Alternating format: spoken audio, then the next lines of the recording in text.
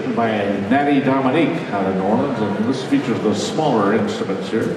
In fact, I think it's two clarinets we use on this one. John and uh, Pieter on the clarinets, and then on Lady Love